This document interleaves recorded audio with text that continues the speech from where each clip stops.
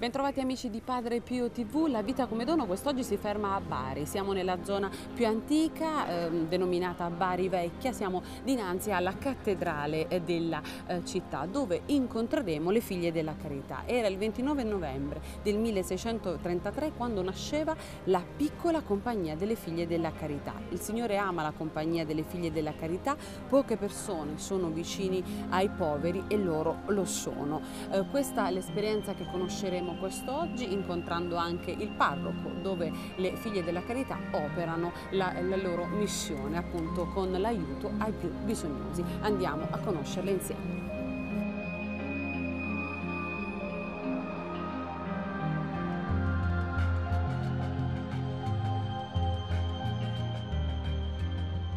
Sono Don Franco, sono il parroco della parrocchia cattedrale, ovvero sia di tutta la città vecchia. La mia comunità parrocchiale è fatta di 13.000 abitanti ed è una realtà molto eh, fragile a livello sociale. La presenza delle figlie della carità è fondamentale, fondativa proprio perché il loro carisma all'interno della comunità eh, sviluppa la coscienza e, e, educa al servizio tutta la comunità. È un carisma che sostiene la, carità, la comunità ad essere una comunità con la porta aperta, una comunità che sia madre, perché la Chiesa madre abbia il cuore aperto ai, eh, ai più deboli e più fragili. Dunque la presenza delle consacrate all'interno della comunità sta educando la comunità ad essere una comunità madre, con il, la porta della misericordia sempre aperta, specie a, agli uomini e alle donne bisognose eh, di attenzione, di tenerezza, eh, di umanità. Per questo il femminile di queste consacrate educa la nostra comunità a non essere un'azienda dei servizi, ma essere una umanità che ama. C'è il pericolo che possa essere una parrocchia, un'organizzazione che fa dei servizi sociali mentre la comunità non è un'azienda dei servizi, un'azienda sanitaria, ma è una comunità che amata vive l'amore per l'uomo a misura del cuore di Cristo. Le consacrate sostengono la Chiesa in questo passaggio da non essere un'organizzazione di servizi, ma un'unità amata, amante, che ha la tenerezza di Cristo per il più debole. Questo il femminile delle consacrate ci aiuta molto.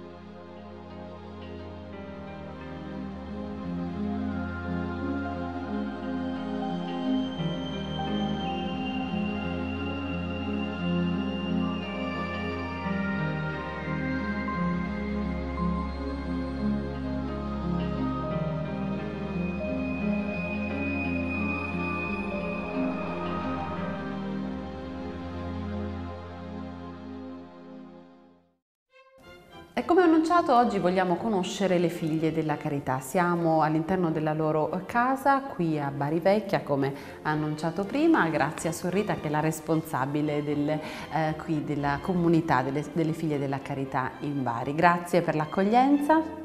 Grazie di essere venuti e di averci anche interpellato perché per noi è stato un piacere avervi qui con noi.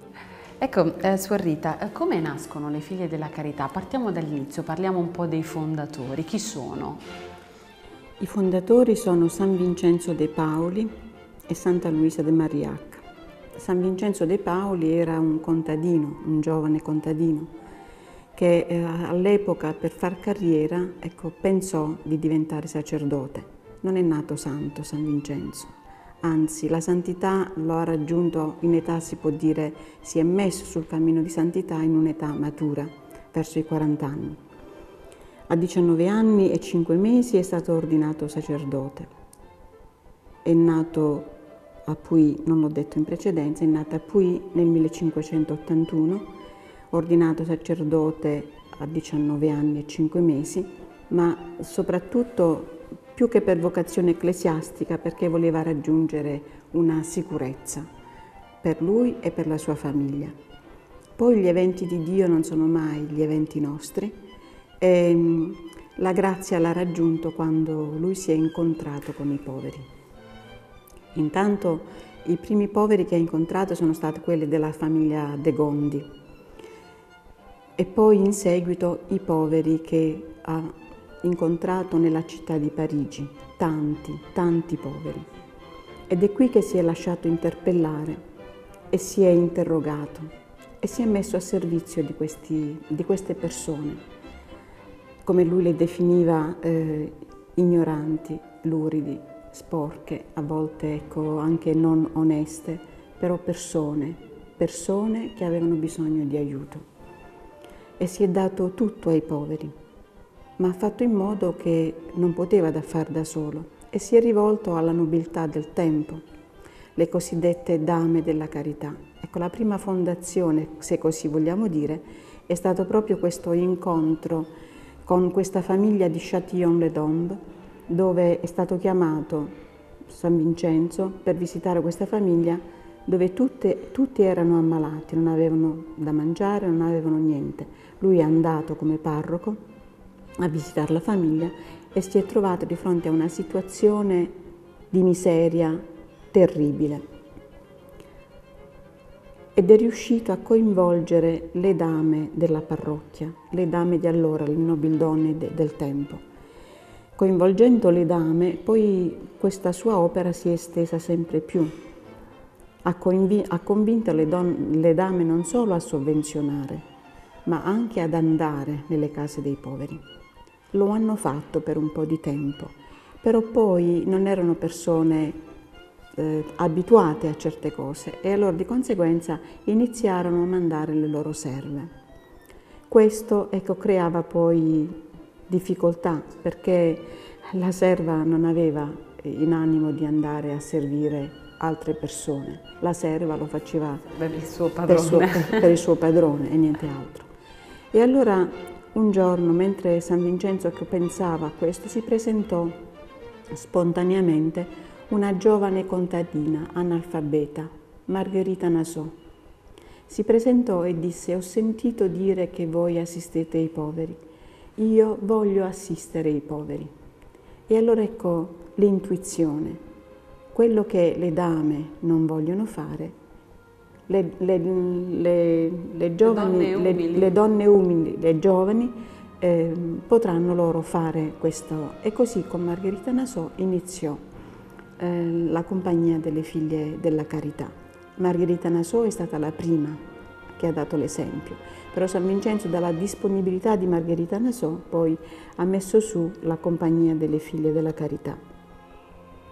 Non è stato facile all'inizio perché per le donne dell'epoca c'erano due possibilità, o la clausura o il prendere marito o, come devo dire, raramente si restava nubili.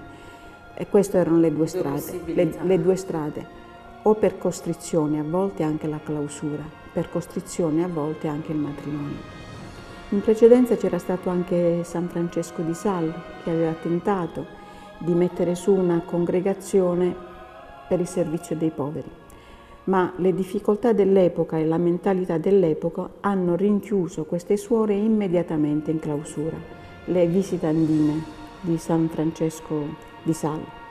Allora San Vincenzo forte dell'esperienza che aveva fatto San, Vincent, San Francesco di Sal, ha, ha, deciso di inviare queste giovani, ma di non farle suore, praticamente non, di, raccomandava di non dichiarare assolutamente di essere suore, ma erano delle buone figlie che andavano e venivano per il servizio dei poveri. Poi in seguito... Ecco, È stata una buona intuizione. Una, una buona intuizione. Poi a chi vi chiede se siete suore, dice voi non siete suore, siete delle buone figlie che vanno e vengono per il servizio dei poveri. E così è iniziata la Compagnia delle Figlie della Carità. In seguito poi Santa Luisa de Marillac, che era una nobildonna, ehm, prese a cuore anche questa situazione e San Vincenzo affidò la formazione delle Figlie della Carità a Santa Luisa de Marillac. Quando si arrivò al momento di, eh, della consacrazione, perché si doveva, ecco, Santa Luisa di Marillac pretese, o meglio pretese, ins ha insistito in modo tale presso San Vincenzo che il direttore delle Figlie della Carità fosse sempre un, un missionario vincenziano, San Vincenzo o i suoi successori, e non il vescovo del luogo. Perché se, se andavamo nelle mani del vescovo eh, rischiavamo di essere ehm, di essere trasformati anche come mentalità, come carisma, come... E allora si, dopo l'insistenza di Santa Luisa ecco, si è riusciti ad avere l'autorizzazione a fare i voti annuali. Noi ogni anno il 25 marzo rinnoviamo i nostri voti, ma non per rinnovare. A noi i voti scadono il 25 marzo a mezzanotte, il 24 marzo a mezzanotte noi siamo libere per riprendere l'impegno con più gioia, con più forza, con più serenità, sempre con l'aiuto di Dio. Per questo non cioè, c'è una professione perpetua? Non abbiamo la professione perpetua, ma sono voti annuali che la Santa, eh, la, la Santa Sede ha riconosciuto così come i fondatori l'hanno voluto. Siamo una società di vita apostolica, siamo dedite in modo particolare al servizio dei poveri, qualsiasi forma di povertà non ci è esenta. Qualunque sia il problema che l'uomo vive, è problema nostro, anche delle figlie della carità. Cioè questo è il vostro carisma. E siamo chiamate ecco, a, a servire i poveri.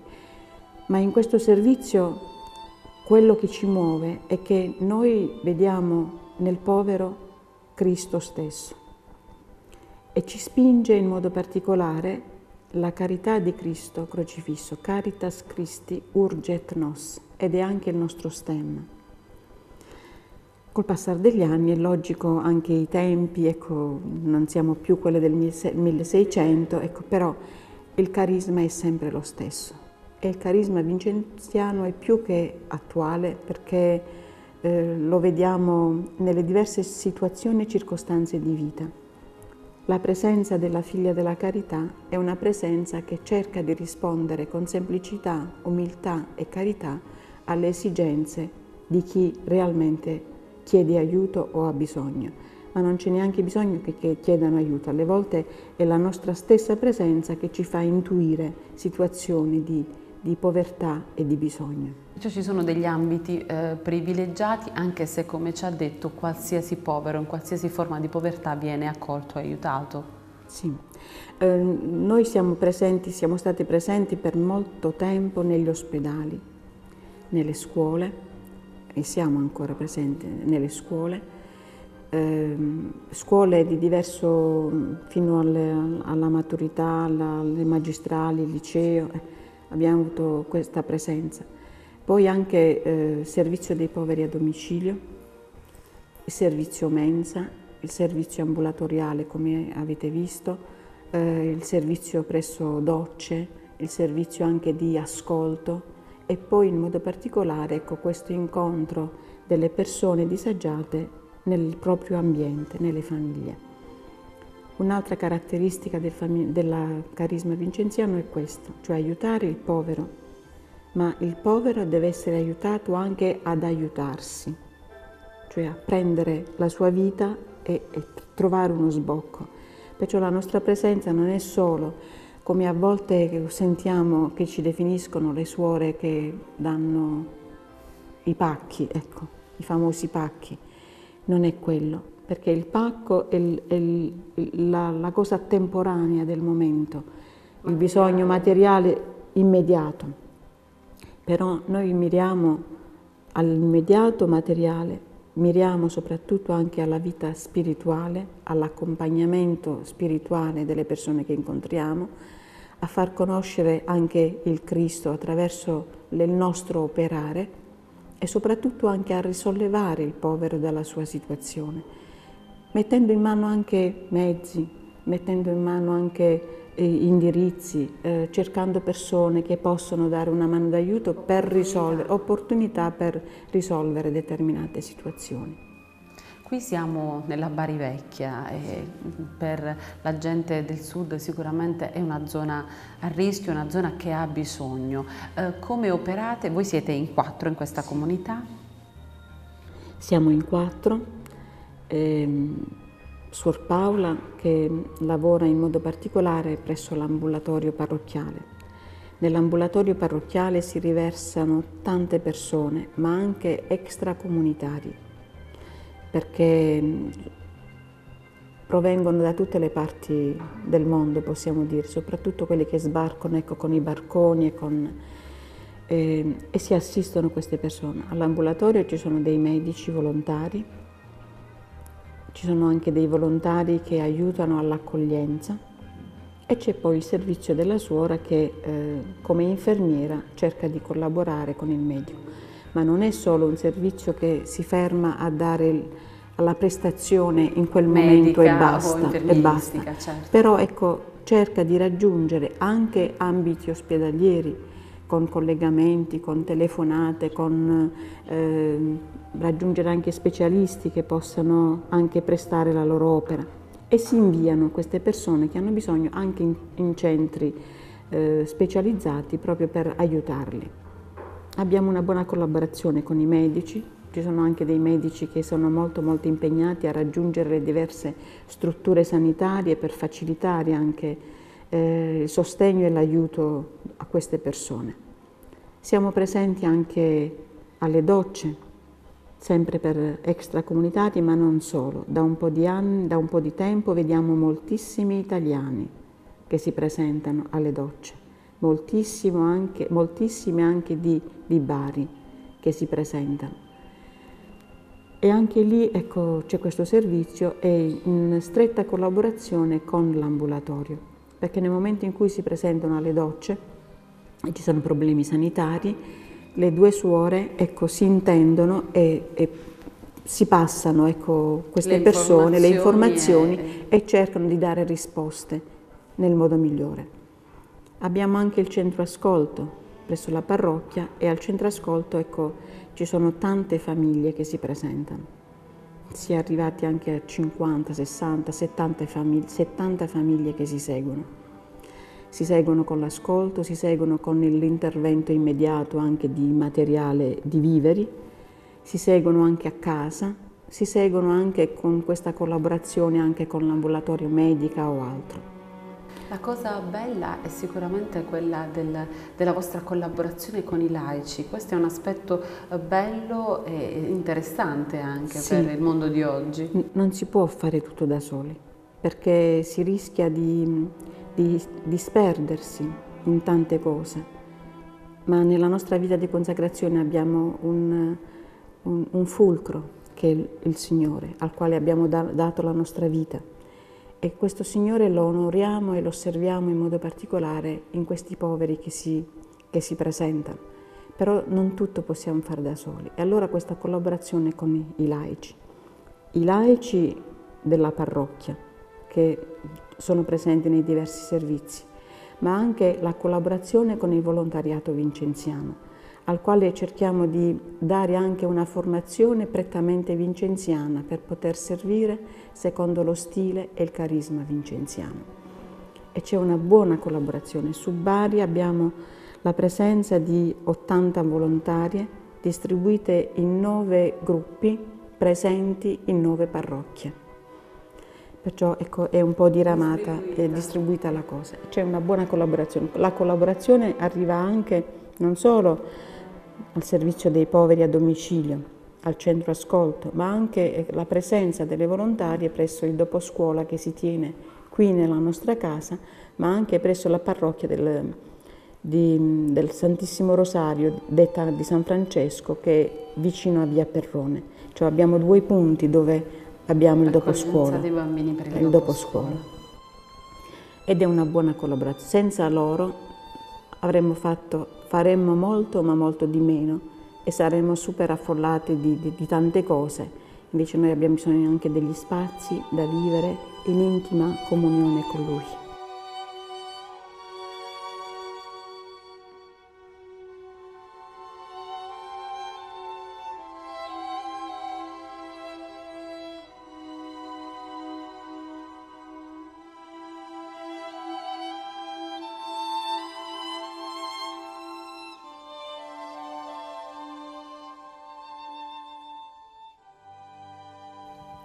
E siamo in compagnia di un'altra figlia della carità, Sor Paola, grazie eh, per questa grazie sua disponibilità. Da quanti anni è figlia della carità? Allora, figlia della carità faccio 50 anni il 24 febbraio. Ah, ecco, si trova proprio nell'anno dei miei 50 anni di, di vocazione, sì, sì, sì.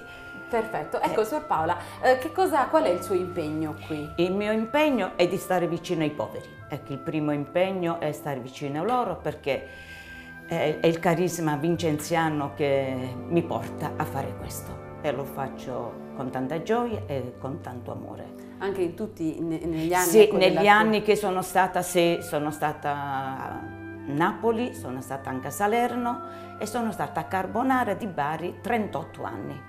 Questo ti ha affascinato di più sì, del... Sì, sì, perché adesso io sto conoscendo il vero povero, il vero povero, che sì, lo conoscevo nell'ambiente ospedaliero, però qui lo sto conoscendo molto meglio. Ecco, quando meglio. dici qui, cosa, qual è il tuo eh, ruolo qui e chi accogli? Allora, noi, io con il medico accogliamo tutti quelli che vengono a bussare alla porta, tutti, italiani e non italiani. Uh, c'è il medico che ha, se ha bisogno di visite, lui visita tranquillamente e, e se abbiamo dei farmaci doniamo anche i farmaci tutta una terapia che lui deve fare, non so, per una settimana, dieci giorni, cinque giorni, noi tutto quello che ci viene portato in ambulatorio noi diamo. Ecco, qual è il ricordo o la storia che più ti ha, eh, ti ha affascinato di, di, questo, Beh, di questa tua missione? Le, le storie sono molte che proprio in questo ambulatorio, io sto qui in questo ambulatorio da cinque anni e mezzo, da quando ho lasciato il di Venere eh, Carbonare sono venuta qua. Il ricordo, ne sono molti eh, in questo momento. Ma sono anche mamme con bambini? E, sì, e sì abbiamo, abbiamo, seguito alcune mamme in gravidanza del Bangladesh, eh, del, eh, una del Haiti, eh, stavano in stato interessante con delle patologie non troppo belle eh, l'abbiamo noi qui seguite con terapia infusionale, terapia orale e poi abbiamo visto anche la nascita, non in questa struttura, certo. ma io sono andata a trovarvi queste mamme quando hanno dato eh, alla luce i bambini e ieri sono venuta a trovare questi, questi ecco, due bambini. poi la storia continua perché poi sì, loro sì, ritornano. Sì, sì, no, no, loro ritornano come tale il bambino piccolino adesso mi chiama zia Paola, mi sta chiamando perché ha quasi due anni e allora io l'ho visto proprio nel grembo materno. Ecco, la cosa bella è che voi non offrite soltanto un servizio, ma sicuramente un ascolto, un'accoglienza. Sì, sì, sì, sì, sì, per me queste mamme sono tutto me le sento come sorella tesse di sangue perché loro mi vogliono anche bene perché di quello che abbiamo fatto. L'ambulatorio ha fatto per loro, non Poi solamente avete... io, certo. ma anche i medici. Perciò hanno... i medici sì, e i volontari sì, che collaborano sì, con sì, voi. Sì, sì, sì, come loro lo possono dire, quello che noi la mattina viene eh, in ambulatorio. Ci sono dei giorni che vengono meno, eh, extracomunitari come italiani, ci sono dei giorni che ne vengono abbastanza più d'inverno perché c'è l'influenza, c'è la bronchite, eh, ci sono tante poi patologie, patologie anche di una certa importanza. In, in questo caso noi li mandiamo con il 118 policlinico perché lì devono essere curati, certo. essere in isolamento, essere curati.